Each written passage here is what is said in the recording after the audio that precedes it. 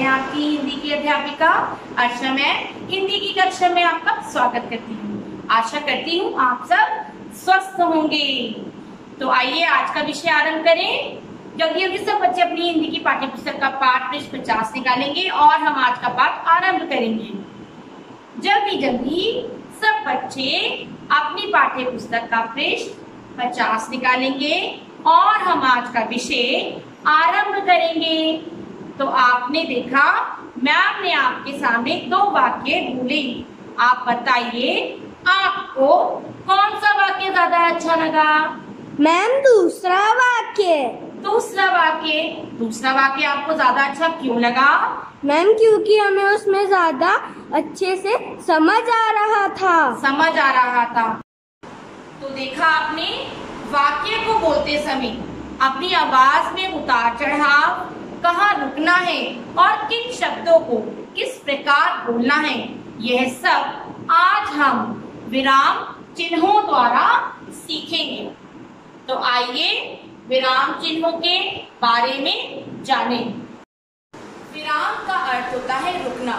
तो आइए देखते हैं वाक्य में सही विराम चिन्ह लगाने से। एक छोटे से चिन्ह से वाक्य का अर्थ कैसे बदल जाता है? तो देखिए रोको मत जाने दो। यहाँ मैम मैम ने रोको मत के बाद एक अल्प विराम रखा। रोको मत जाने दो। अब दूसरे वाक्य देखिए। रोको मत जाने दो। तो आपने देखा कि सही विराम चिन्ह लगाने से हम वाक्य का अर्थ बदल देते हैं। विराम चिन्हों के बारे में जानते हैं। पूर्ण विराम। पूर्ण विराम एक सीधी रेखा होती है। ये पूर्ण विराम का चिन्ह है। पूर्ण विराम का प्रयोग हम वाक्य की समाप्ति पर करते हैं।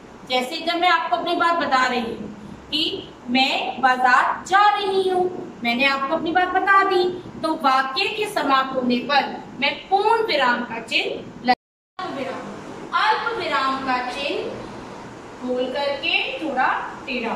जिसे आप कॉमा भी बोलते हैं।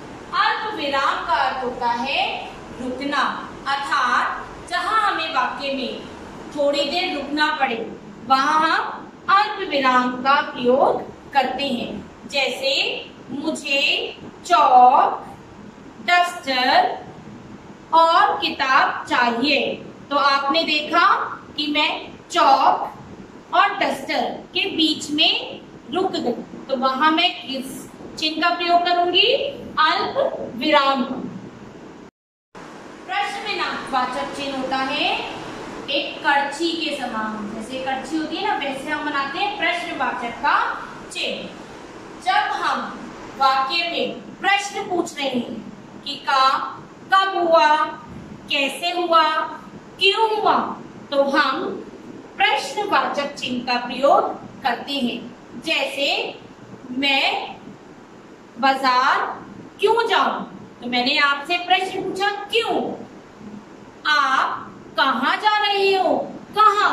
तो क्यों, कहा, कब, कैसे?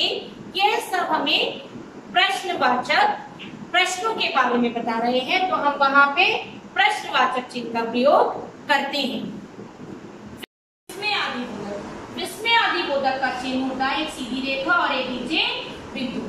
जब हम किसी दुख को, घृणा को, आश्चर्य को, हैरानी को, आदि भावों को प्रकट करते हैं तो हम विस्मय आदि बोधक चिन्ह का प्रयोग करते हैं, जैसे, अरे, वह गिर गया। अरे मतलब मैंने हैरानी दिखाई। ओह, तुम्हें लग गई। ओह, मुझे दुख हुआ। छी छी, यहाँ बहुत गंदगी है। छी छी ये मैंने घृणा दिखाई।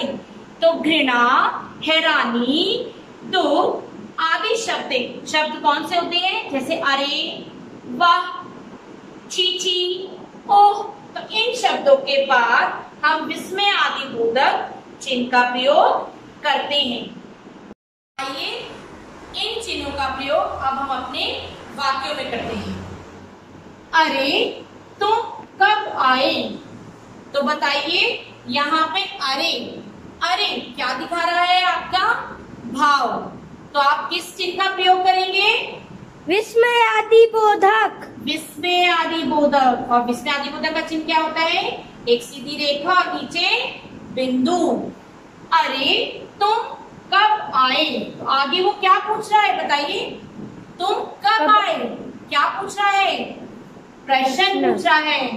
तो यहाँ हम लगाएँगे प्रश्नवाचक का चिन्ह अगला देखिए। राम सीता राधा बाज़ार जा रहे हैं।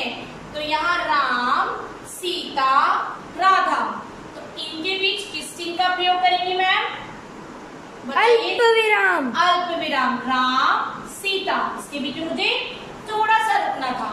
राम सीता राधा बाज़ार जा रहे हैं। तो है के बाद क्या आ जाएगा आपका? पूर्ण विराम। मैंने वाक्य की समाप्ति कर दी। पूर्ण विराम। अगला वाक्य देखिए। तुम कौन हो? तो ये यहाँ क्या पूछ रहा है बताइए। प्रश्नवाचक। प्रश्नवाचक। तो किसका चिन्ह लगाएँगे यहाँ? प्रश्नवाचक चिन्ह का प्रयोग करेंगे। तुम कौन हो? तो देखा आपने कि हम अपने चिन्हों का प्रयोग वाक्यों में कैसे करते हैं? अब आप सब अपनी अभ्यास पुस्तिका में इसका पुनः अभ्यास करेंगे। धन्यवाद।